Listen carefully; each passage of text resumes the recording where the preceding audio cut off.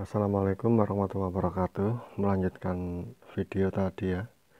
Ini yang tadi ini 500 watt sudah kena sudah jadi ya.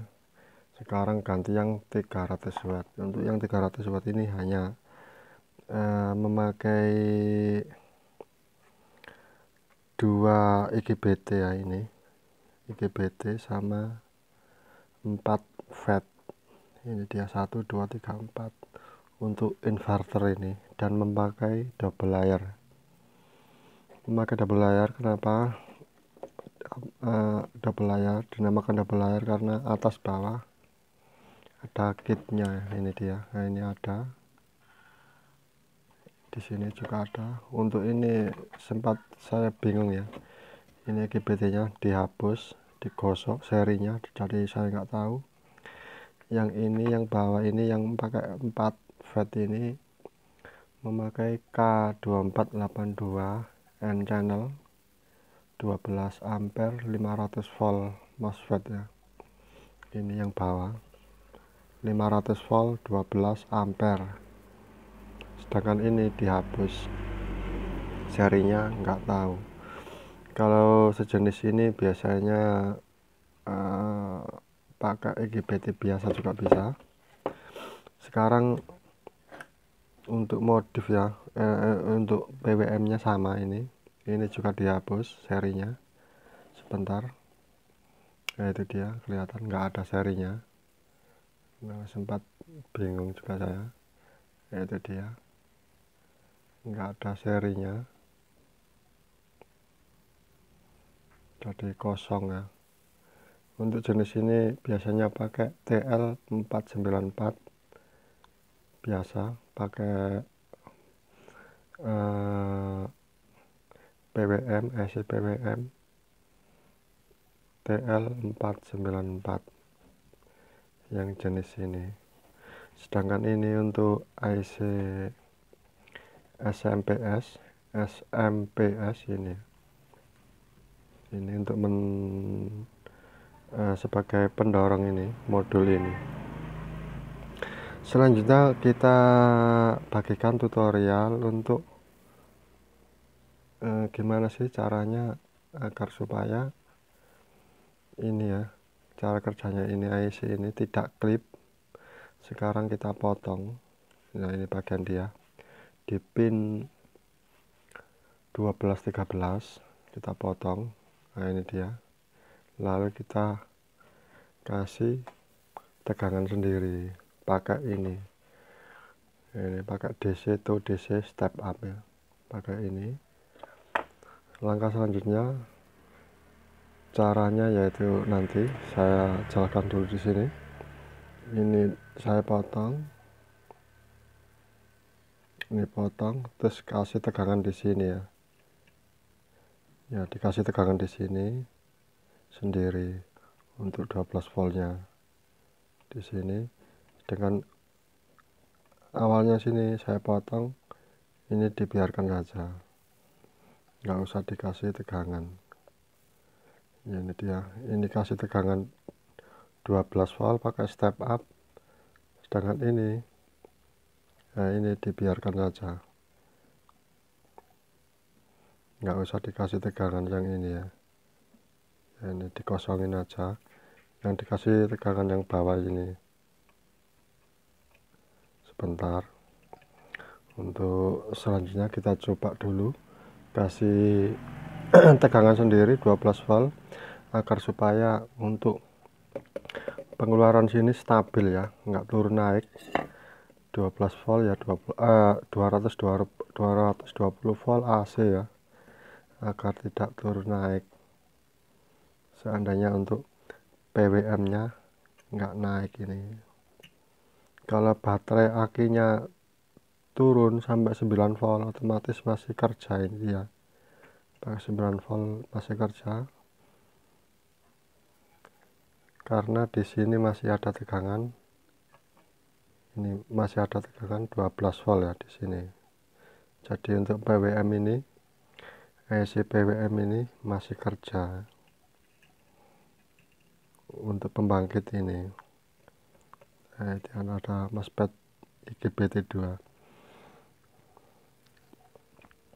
sekarang kita pot ya sekarang kita eh, ini dulu kita coba untuk kasih tegangan sendiri di IC PWM nya IC sini. Kita kasih sendiri ya tegangan 12 volt pakai DC step up. Sebentar kita coba dulu kita solder dulu. Ya ini dia. Setelah saya modif saya potong jalur ini. Ini saya potong. Terus IC PWM langsung saya kasih ini. Saya kasih ini saya kasih tegangan sendiri ya saya kasih tegangan sendiri dari sini step up ini. Nah, ini dia ini masuk sini ya. Masuk ke sini. Ini bisa dilihat ini. Nah ini dia. Mungkin teman-teman mau coba. Lah ini dia. Potongannya kelihatan untuk IC PWM nya aja ya yang dikasih tegangan 12 volt pakai step up ini. Dan usahakan untuk pemotongan ini harus bersih ya supaya tidak jalur tidak masuk ke sini. Ini untuk penguat agar untuk cara kerja inverter ini bisa bertahan lebih lama kalau seandainya aki ya. Eh, aki untuk tegangannya menurun bisa juga dimodif pakai ini. Ini dia. Bisa dilihat lebih jelas. Untuk PWM untuk listrik anda untuk di rumah barangkali teman-teman mau modif silakan nah, itu dia.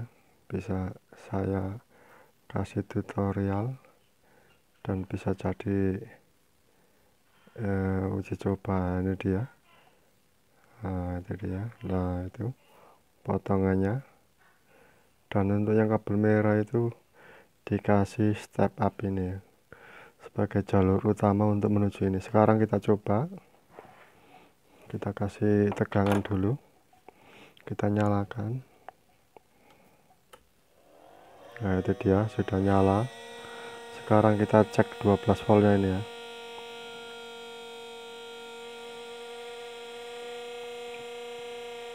Nah itu dia kelihatan 12,12 ,12 terus sekarang kita colokkan ke listrik ya. Ini dia kipas angin. Ke sini.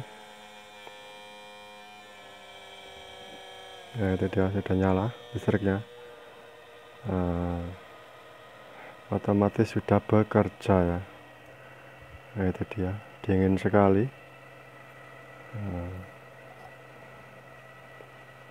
jadi keutamaan untuk step up ini agar supaya IC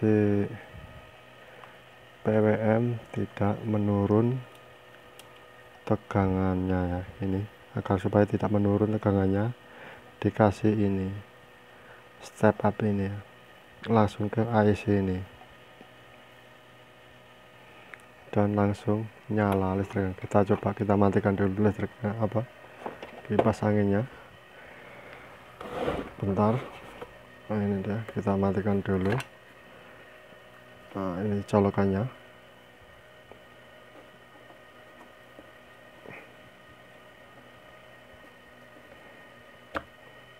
Nah mati kan sekarang langsung kita kasih kipas lagi sebagai percobaan. Nah itu dia sudah nyala. Berarti sudah bekerja. Untuk jenis inverter atau jenis apa di rumah ya?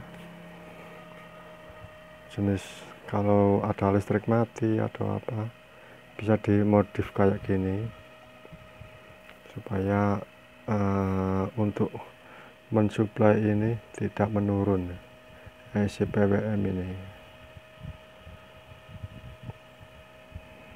Itu dia. Dan berjalan normal dingin sekali. Gitu aja terima kasih tutorial dari kami.